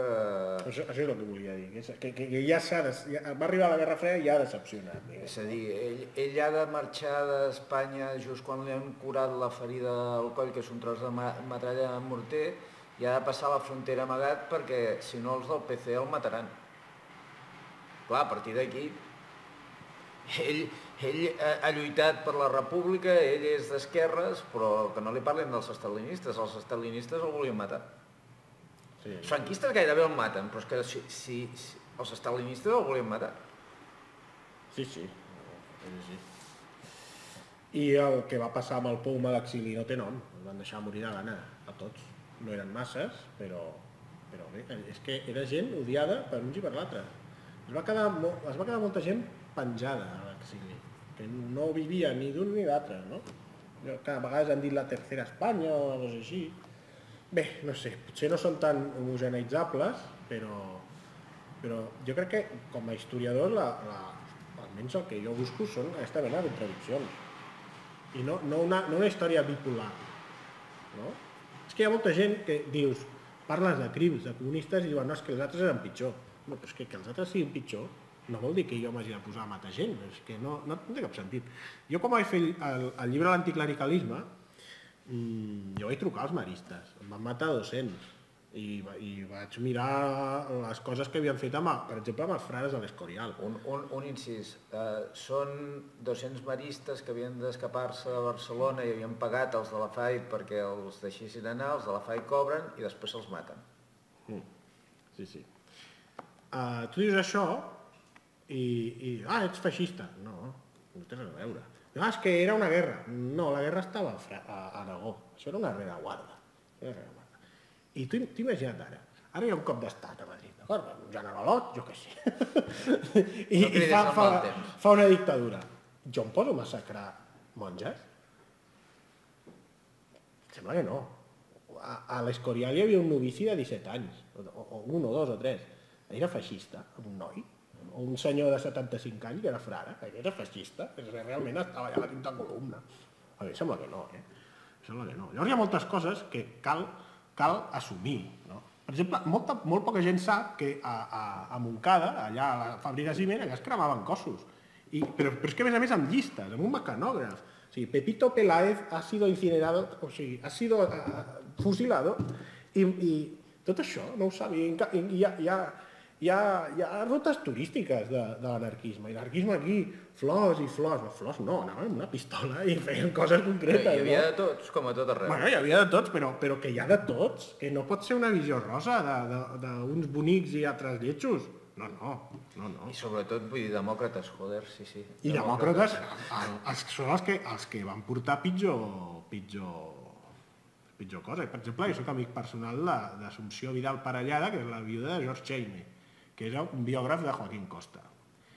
Aquesta senyora era de família Josep Maria Espanya. Josep Maria Espanya era el, el dirigent dels Mossos d'Esquadra amb- a, a Era el conseller de Governació quan comença la Guerra Civil. Bueno, aquesta senyora se'n va a Newcastle perquè la seva família va rebre cartes de la CNT us matem demà. Aquí hi ha un exili provocat per la CNT i aquesta senyora, si la coneixes, és d'un progressisme i d'una de- d'extrema esquerra. Jo, alguns ja veu venir, però vaig parlar del Josep Maria Planes. Josep Maria Planes no era un feixista. Vull dir, ara, volia il·legalitzar la FAI, sí, perquè per ell, per ell la FAI a l'esquerra era el que la falange a la dreta. I deia, si volem il·legalitzar la falange, hem d'il·legalitzar també la FAI. I l'equivalent a Espanya és el Chávez, el Chávez Nogales. El Chávez Nogales era zanyista. O sigui, ell creia en una, en una, en una república democràtica mm, amb, amb un component social, però no bolxevisme. No bolxevisme. Llavors, clar, va acabar a París fet pols perquè no estava ni en un bàndol ni l'altre, no? Com aquests n'hi ha molts. Bueno, i encara va tenir sort que no va acabar amb una cuneta. Quasi. Josep Vicenç, una pregunta. Em sembla que ets l'únic estudiant de Ciències Polítiques, o sigui que mereix un cert mèrit. Em, jo volia preguntar, em, bueno, primer referent a aquesta crítica a la visió molt bipolar de la història dels bons i els dolents, no? que dius que ara s'està accentuant aquí també, per exemple, quan parlem de, doncs això, del, dels anarquistes, de les rutes anarquistes o coses així. Em, no, no, és, o sigui, no és difícil que, que s'intentin maquillar aquestes coses quan després són armes, o sigui, els fets històrics també són armes polítiques, no després? Ho, ve- ho veig com... Home, sí O que és sigui, entenc, entenc la importància del, del rigor i de, no, i de no amagar aquestes coses, però... Mm, Mira, hi ha un efecte... Hi ha, hi ha un, mira, quan, quan, quan un... La, la història té un efecte de bàlsam. La, la història llima les idees extremistes. Quan un coneix la història, no pot ser partidista. Té la seva, cadascú conserva la seva ideologia i la seva política. Jo tinc les meves idees, les, tinc les meves conviccions. El meu avi era de la FAI. El meu avi era de la FAI. I quan vaig llegir això dels maristes, jo vaig tenir un drama intern. Però jo sóc historiador. El drama intern, perquè no estic aquí per fer propaganda de, de coses, estic aquí per donar una imatge ajustada a una realitat. O jo soc historiador cultural. Per exemple, aquí, a mi què m'interessa? Per exemple, la cultura política de l'anarquisme aquí. Per tant, jo recomano el llibre de Chris Ilham, la, la, la, la biografia de Pairats. Això és fantàstic per saber el que és la- l'anarquisme. No li diguessis a l'Enric, eh? Això entre nosaltres. bueno, vale, em van avisant de coses. Jo crec que s'ha de separar. Eh, Llavors, eh, el que, el, que fa, el que fa una societat o un poder polític quan vol, quan vol la unanimitat o el poder absolut és negar la història. Perquè així aconsegueix soldats i no ciutadans que pensen. Perquè el ciutadà que pensa no és, no és fanàtic. Eh, És una persona complexa que veu pros i veu contres. I el blanc i negre és el primer que apareix quan es nega la història. Doncs jo crec que el que s'ha de fer és reflexionar, tenir bona, bones fonts d'informació i, i, i prendre decisions sobre el present. El que no pot ser és que es maquilli tot i tot siguin homenatges. D'homenatges a, a anarquistes n'hi ha 50.000, no valen res. Són a geografies. A geografies Azanya n'hi ha així. Azanya és complex, Azanya va cometre molts errors. Azanya va fer una, un, cos, un cos de defensa de la república amb africanistes. On vas? On vas, per favor? Azanya va, va, la va cagar amb cases viejas, va fer molts errors. Va dimitir quan calia un, un poder fort i va posar un pobre home que s'estava morint. I quan saben que estan preparant un cop d'estat, perquè ho saben, envien a Mola, que és on hi ha els requeters, i envien al Franco a les Canàries, on hi ha un tercio de la legió, que dius, hòstia, genial. Uh, És un error tras... tras... Llavors tot això... comença, et la fa- guerra, comença la guerra civil i donen l'ordre de dissoldre l'exèrcit quan saben que els altres no la compliran. Vull dir que dius, genial, pitjor no es pot fer. Sí, i llavors eh, tot el coneixement de la història, sobretot de la, de la del segle XX, que és la, la, me- la més complicada, fa que, que relativitzis les coses, però això no vol dir que hagis de renunciar a les idees d'un. Jo les conservo exactament igual. Jo això ho sé perquè vaig fer la tesi doctoral d'un feixista. Jo els conec l'altre.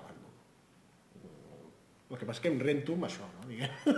perquè si no arriba un moment on acabes... acabes Bueno, però compte que, acabes- compte, compte que jo penso que alguns dels meus alumnes vull dir, eh, di- dirien que no et rentes, però no és allò Home, que sí, diu. home, per favor. Jo soc... Jo, aquí Que no et rentes ideològicament, eh? Vull dir, Sí, és sí, allò... i tant, i tant. Jo sempre torno al meu Rovira i Virgili, sempre torno al meu, al meu pi, al meu pi Margall, jo sempre... El que passa és que sí que és veritat que, que la història, la història de debò, la història com la fa l'Ucelai, eh? la fa molt bé, la història com la fa les Cúlies, jo d'això eh, he, he, he, creuat alguns missatges amb el Joan Escúlies, eh, però molt curts perquè són de Twitter. No? Dient, és que aquí, aquí confonen història amb propaganda, amb propaganda. No? I realment, realment, sí, és una arma política, però no hauria de ser-ho, la història. La història és on es va pensar, i pensar llima fanatisme. I el resultat sempre és més plural i menys extremista. Però, sempre, sempre. Per això, per això la història, igual que la sociologia, fa por als polítics. Els polítics volen, volen blanc i negre. Tu dolent, jo bo. I això s'està explotant ara molt. No? Dir, nosaltres això del iaio fatxa, no? això agafa el cerca. No? El, el, el, l'abuelo fatxa. Però tu, la teva família va tenir morts per republicans i has de ser d'extrema dreta. Bueno, no. O, per exemple, una altra història. Què passa, què passa amb, el, amb, el, amb el socialcristianisme? Què passa amb Benet? Passa amb Josep Benet? Ahir estava veient una presentació d'una persona que és anarquista, que és Ferran Aissa, que és un dels millors historiadors de l'anarquisme de Barcelona. Ell explicava que va conèixer Puig Antic en una parròquia. I jo vaig preguntar i vaig dir, eh? I esto? Ah, és que allà es tolerava tot i anàvem a saco. Estem parlant del Puig Antic, eh? del mil, del mil. O sigui, més anarquista impossible. Un tio que anava amb una xupa de cuero i una pipa atracant bancs i, i, i, i, i ja està. I el, el Puig Antic, el Puig Antic, el policia que va morir al seu costat, segurament amb una bala de poli del costat, potser, no està clar, perquè clar, com que tot està manyat, no està clar. Aquell poli, resulta que era un noiet que feia filologia i que es pagava la filologia fent de poli. De feixista no tenia res, era un pobre que va quedar atrapat a la, a la mateixa malla de, de la dictadura. No era franquista el policia, el policia mort, eh? Hi ha un article molt bo i l'altre dia que van treure, van treure els papers del judici de Puig Antic, a la presentació es van donar una abraçada als familiars del policia i als familiars de Puig Antic.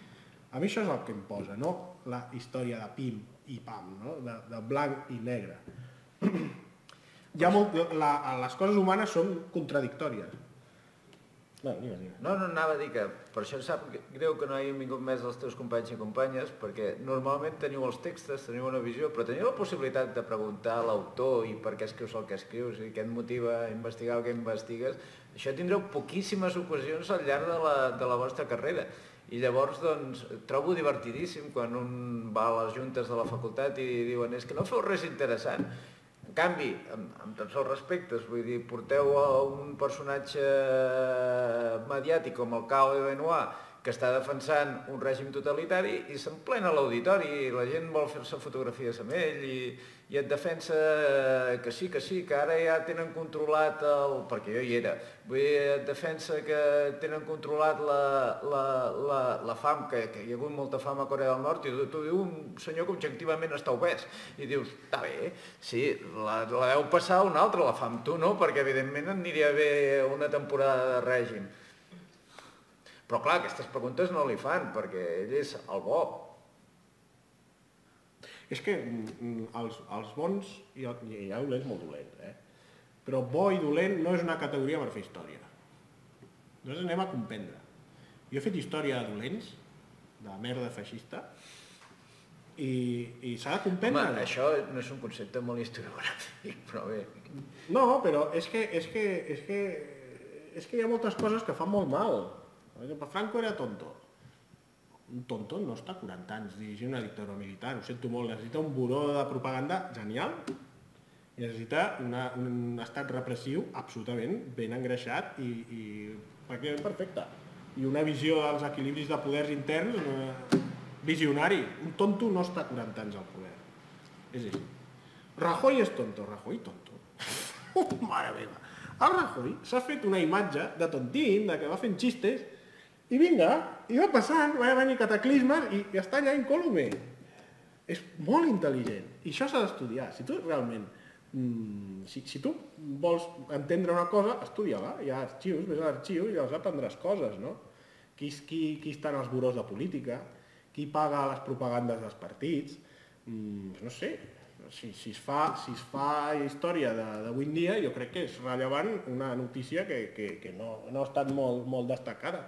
Ara mateix, els responsables de l'empresa que, que, que porta el recompte de vots a Espanya està a la presó per finançament il·legal del PP. Indra, es diu l'empresa. Això és força rellevant, no s'entera ningú d'això. Home, que els meus vots es recompti un senyor que està finançant un partit, això s'hauria de saber, no? Llavors hi ha gent que fa coses místiques, hi ha gent que, que, que, diu, que et diu que Lenin ve el dilluns. Bé, jo no sé si Lenin ve el dilluns, però a mi el que em preocupa és que el senyor que compta els vots a Espanya està a la presó per finançament d'un partit que està al poder. Això em preocupa més i és una cosa, és una cosa historiable, diria, gacetable, diria Costa. Una cosa concreta, no? Jo no em crec ningú que no parli, jo no crec que cap polític que no parli de, de, de, de les pessetes, de, d'on va cada cosa. I a mi idees mm, abstractes, bolxevisme, a mi això no, no, jo vull, jo vull la normativa, el pressupost, no? Qui farà les escoles, qui fa les universitats, I si la societat funciona o no funciona, o si per dir el que penses et tanquen a la presó o no et tanquen a la Ah, presó... Exacte, això que estem fent ara, això és impressionant, això és genial. Jo no puc ser pessimista. Jo ahir presentava un llibre amb Ferran Aissa, un senyor que va viure el franquisme, que en el seu llibre, un llibre de l'any 69, que va fer de jove, va dir, ai, ojalà fuera jo historiador i poeta. I li vaig dir, vostè ho és, ho és. 40 anys després vostè ha triomfat. Jo sóc jove i l'estic llegint. No? I és un senyor anarquista, això ho podem fer, no? I jo li preguntava molt sobre la transició, bueno, ens estem anant a temes molt, molt, molt, molt així, no? Però jo... No, no, no sé si t'ha contestat la pregunta, perquè era una pregunta...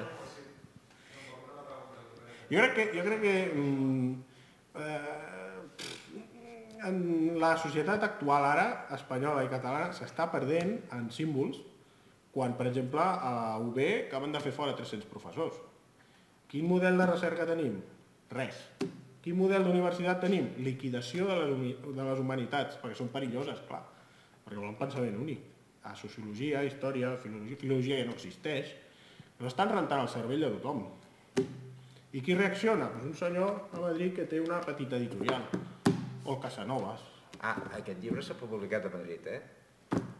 S'ha publicat a, a, a, a Madrid i, i, i una persona no, no, no bolxevic.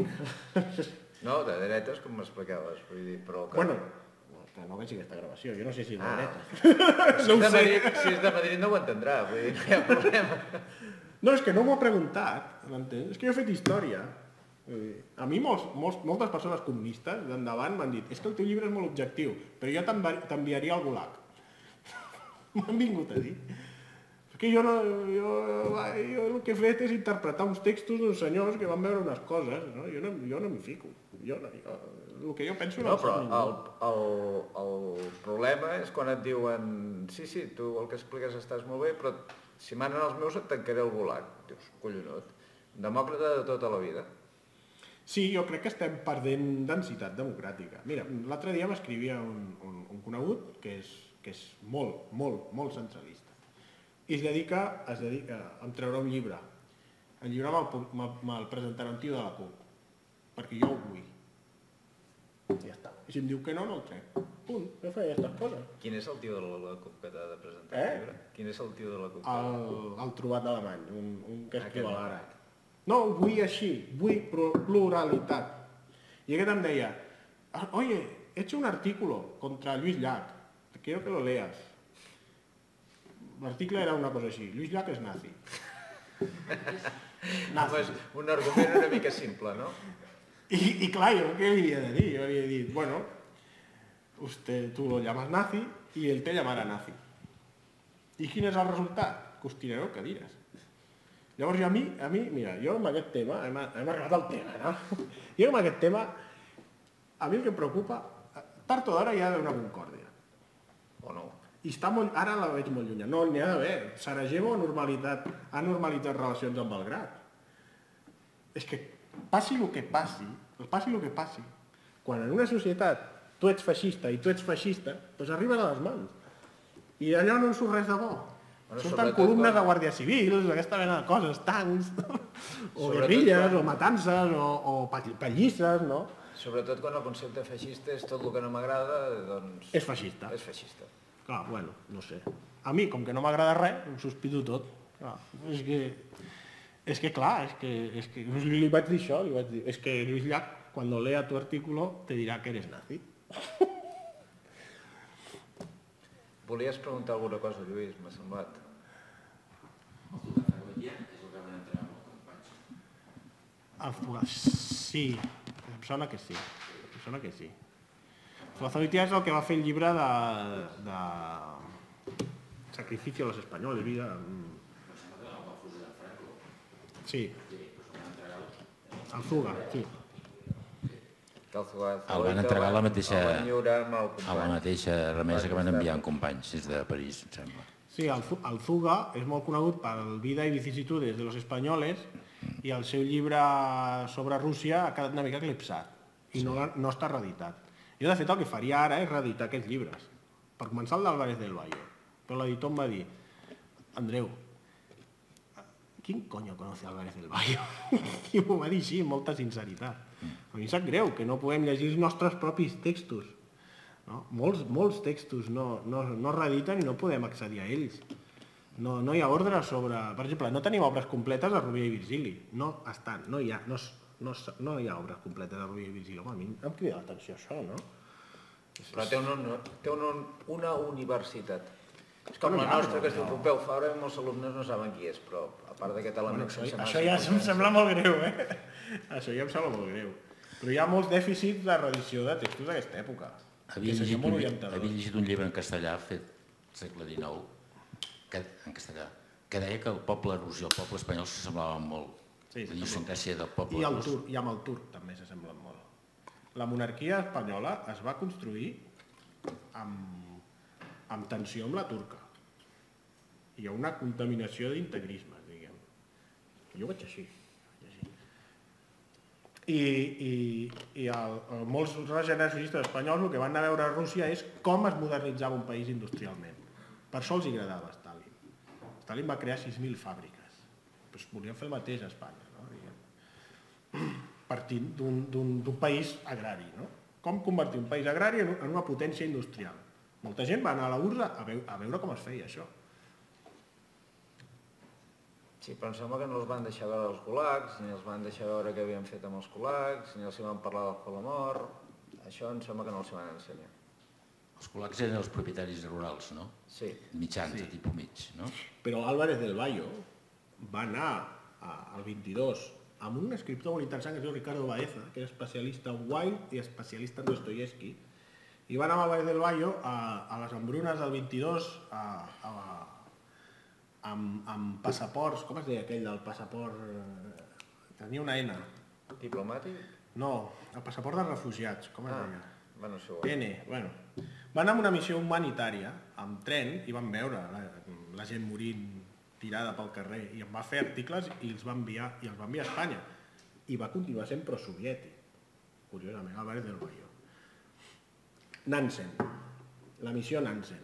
Nansen era un, un, un senyor que va, va, va dissenyar un, un, un passaport declarant refugiat a una persona perquè pogués de, demanar ajuda internacional a altres llocs. Tenia una fundació d'ajuda humanitària. I aquest Álvarez del Valle va anar a ajudar a... Bueno, va anar a fer cròniques sobre una embruna... A mi, per exemple, a mi m'han acusat, després del llibre, ah, es que tu solo, solo pones testimonios pagados por la CIA. Bueno, Álvarez del Valle pagat per, era el PSOE, vull dir, CIA no. A més, la guerra, la, la Guerra Freda va començar molt més tard, no? No, no sempre, no sempre. Alguns sí, eh? Per exemple, Jesús Hernández sembla que està. I el Campesino van tenir alguna, alguna relació amb propaganda, amb propaganda Però és que això és un, hi, ha, hi ha un llibre que és La guerra cultural, que és... Però clar, vull dir, el KGB pagava els seus i la CIA pagava els seus, però això és un... És que sembla que els intel·lectuals visquin de l'aire del cel, han de... Han... Intel·lectuals no viuen. Bueno, en, en tot cas hem d'intentar sobreviure, tu fas les teves classes, jo faig les meves O classes. ets intel·lectual o, o, o cobres. Però vull dir que al final eh, cobris d'algú, una altra cosa és si el que escrius, tu escrius el dictat, o cobres perquè has de viure, vull dir, és allò... O no vius. Està molt de temps sense viure. No sé com... Home, estàs De viu, sobte, home, de sobte han passat 3 anys i jo, bueno, vaig tancar a escriure i vinga, no? Bé, una altra pregunta.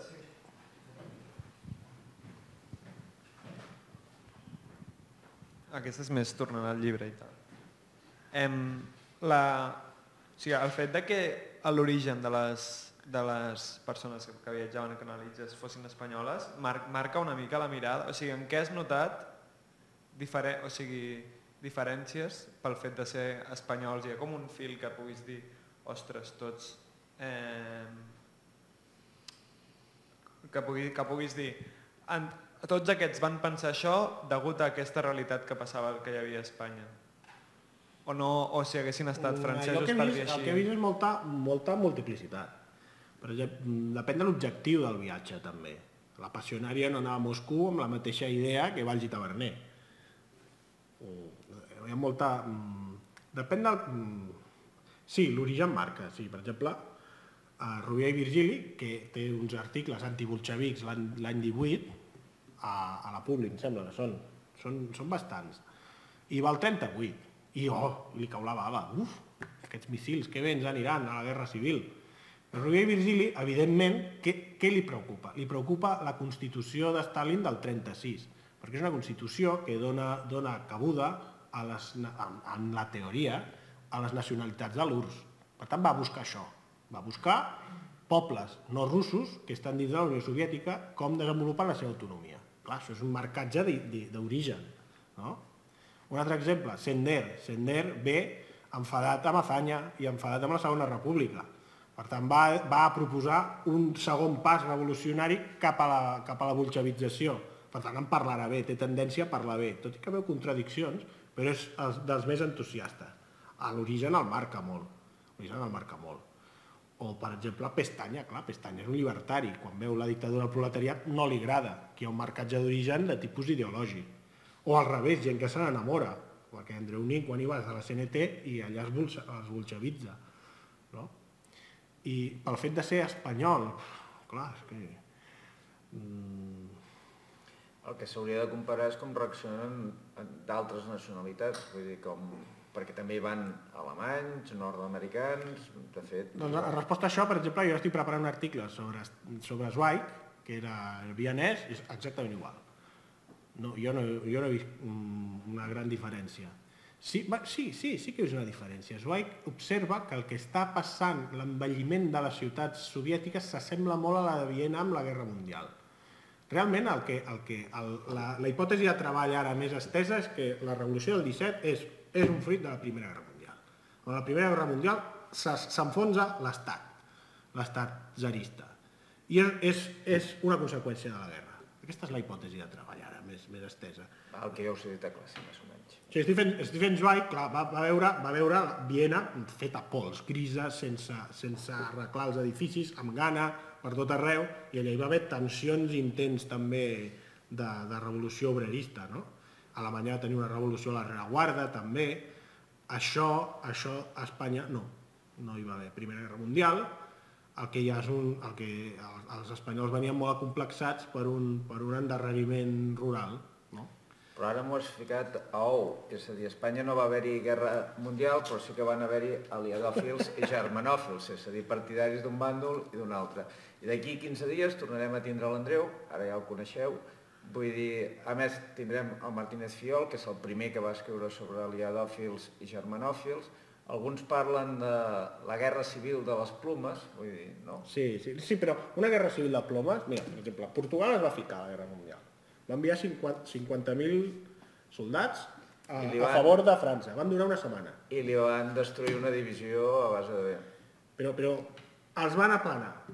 Apisonadora prussiana. Sí, Clar, però... Espanya va dir, i no m'hi fico. Però tu la coneixes, no, la història de Portugal? Perquè, clar, per què Portugal envia dues divisions a Flandes? Pues perquè, perquè eren pronglesos. No, no, no, no, no, no. El que fan els britànics és dir, els, els vaixells que teniu als ports, alemanys, com que ens n'han enfonsat molts, ens els doneu, i, i això és el que fan, però quan entren en guerra els diu no, no, vosaltres en cuideu-vos de les colònies africanes que prou de feina tindreu. De fet, molt poca gent sap que hi ha un general alemany que des de, des de, em sembla que és Tanzà, del que ara és Tanzània, envaeix gran part de, de, de Moçambic.